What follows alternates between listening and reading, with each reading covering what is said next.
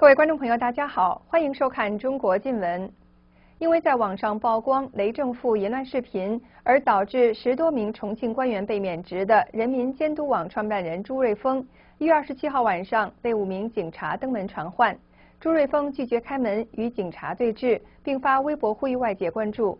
朱瑞峰表示，警方后来同意他第二天带律师到北京德胜门外派出所，不过朱家门口还有一位国保的便衣人员。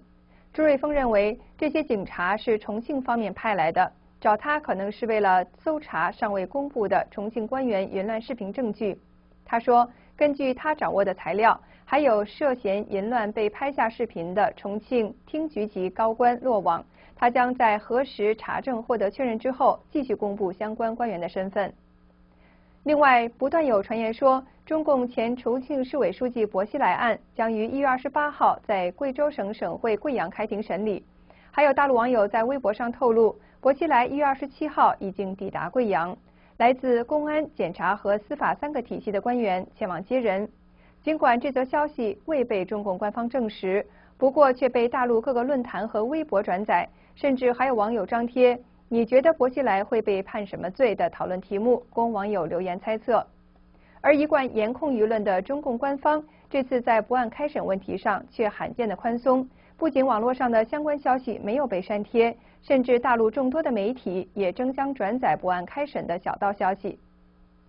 一月二十二号，中共广东省两会召开期间，有市民在广州繁华地段举起“打倒共产党独裁”的牌子。据大纪元新闻网报道。曾经多次在街头举起反共牌子而被称为“举牌哥”的市民刘辉，这次举牌的内容是“打倒共产党独裁”和“共产党是共匪”。报道说，举牌之后，刘辉的电话一直无法接通。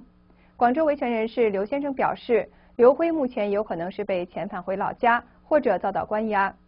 据了解，去年九月七号，刘辉也曾在广州繁华市区举着反对独裁、自由民主牌子游走。并因此被警方拘留。